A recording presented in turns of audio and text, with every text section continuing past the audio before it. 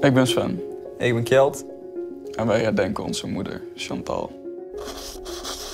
Ja, mijn, eh, mijn ma en ik hebben eigenlijk altijd een voorliefde voor eh, abstracte kunst gehad. En ehm, we gingen ook vaak naar het uh, Krullenmullen Museum. Eh, en ik, ik ging meer met mijn vader, trok ik meer de, de kant van de muziek op. En daar vond ze ook altijd heel interessant, want ze wilde altijd dat ik dan zeg maar, stukjes voor haar ging opnemen en voor stukjes voor haar ging spelen en zo. En dat dan, vond ze altijd wel leuk. En als we samen weet ik, veel film keken of zo, we hadden altijd hetzelfde humor, altijd hetzelfde grapjes en zo. Ik kan me nog wel eens de dag van eh, gisteren herinneren dat zij eh, toen in 2012, toen eruit eh kwam dat ze borstkanker had, ja. Ik was volgens mij tien, denk ik.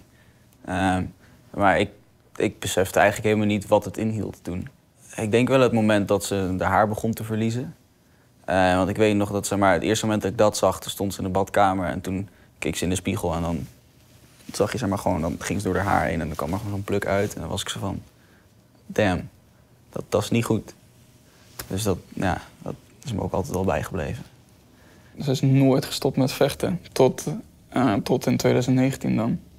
13 oktober 2019 eh, van mijn pa. Ik had wel een telefoon. Die zei van, eh, ja jongens,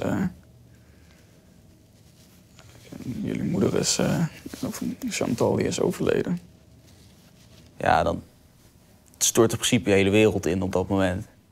Ja, Ik geloof er wel in dat, eh, dat zij daarboven nog eh, gewoon alles aan de regel is. Want heeft ze echt tot de laatste seconde die ze nog had, heeft ze dat gedaan. En zelfs daarna nog. Ik denk rond een maandje, ik denk twee maanden voordat ze overleed. Toen, en zij zegt tegen mij van, ja, ik begrijp het als je het niet wil doen. Maar ik zou heel graag willen dat je me kist maakt en dat je me beschildert. Ik eh, stond bij haar lichaam en ik, ik dacht, ik ben hier niet sterk genoeg voor. Ik, ik kan dat niet. Uiteindelijk liep ik eh, terug naar eh, de kamer waar alle koffie stond. En toen kwam er een gedachte in me naar boven. Die zei van ja Sven, als jij, als jij deze opdracht niet aangaat... dan ga je er later gewoon zoveel spijt van krijgen.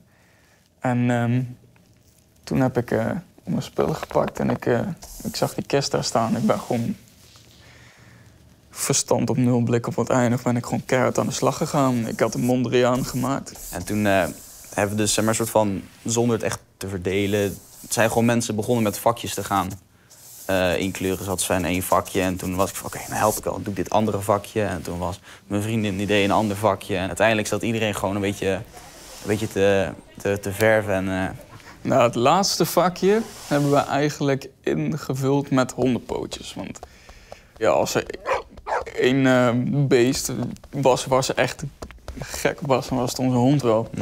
En eh, die, die moest eigenlijk ook wel een aandeel hebben in eh, de kist. Dus we hebben zelfs hem nog erbij betrokken. en dat was wel super mooi dat we dat dan zeg maar, voor haar konden doen. En ook een beetje om Sven te ondersteunen. Dat het ons wel dicht bij elkaar heeft gebracht. Dat was wel heel vet.